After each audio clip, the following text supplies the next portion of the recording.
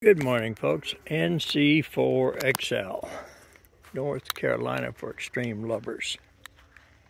And I'm not. There's a blessed sunrise that the Lord's given me another day. And, uh, oh, it's so beautiful out here.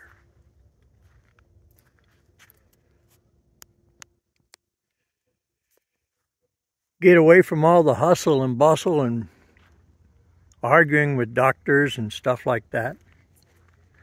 For those of you wondering why I haven't been on the air, it's called financial. And that's nothing for you guys and gals to worry about. You got enough of your own problems, but that's why I haven't been out. It gets tough when life gets in the way and you're up in age and now I'll just share a little frustration with you just so you know. they say I have COPD. And the medicine they want me on is $600 a month. And it's stuff like that that gets in the head. It makes it real difficult. But it's stuff like this that gives me the peace. I don't know what today's going to be. I'd like to have a big one, but you know what? If I get 12 contacts, I'm good. I really am. Because that's what it's really all about. It's not to be in a race with the next person to beat them out. But it's to go out, test your abilities, your equipment, drink some coffee. Oh, I do that all the time. Yep, I got my list of a few people that are close to the next level. Run into KO4 Foxtrot Sierra Zulu's antenna, and I'm going to put a plug in for them if you're watching this video. Folks, you can go to brick and mortars and you can get the discounts and all that kind of stuff from them. I'm not saying where the antennas are made. But I know Chris's is made here in the States. And it's made by a young man who has a life too. it's called family and children and all that.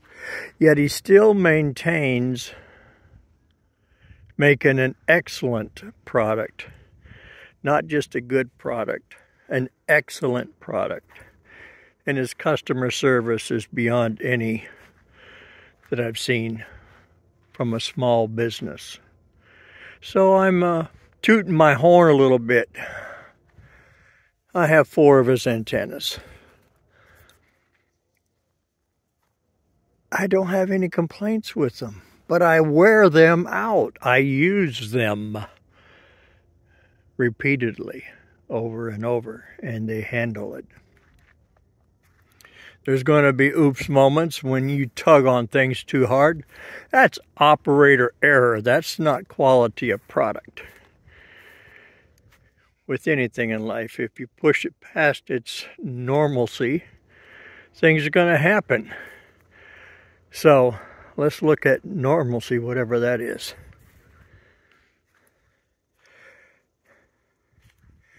You all have a good one. I want to thank you in advance for the day. And uh, I appreciate you. I really appreciate you. Got my sun uh, block up. And uh, some people ask, what do you use for batteries?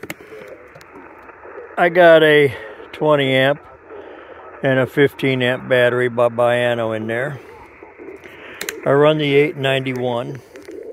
I paper log because I don't have to worry about additional sources of power and RF and all that. But I'm retarded, so I can go home and I can put it on a computer.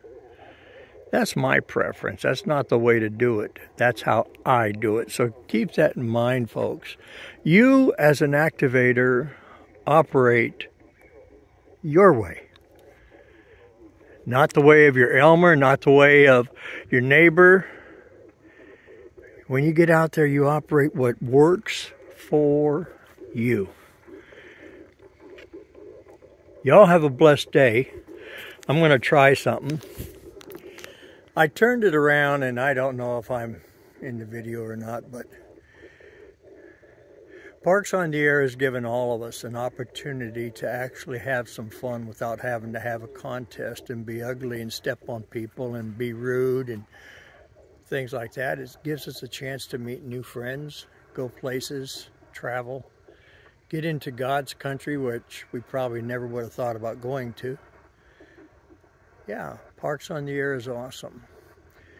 But it's what you and I do with inside the program that makes it as awesome. 73s, November Charlie 4 X-Ray Lima. NC4XL, North Carolina for extreme lovers. Oh, I'm not. Just a darling old man. We'll say 73s. Let me turn this thing around.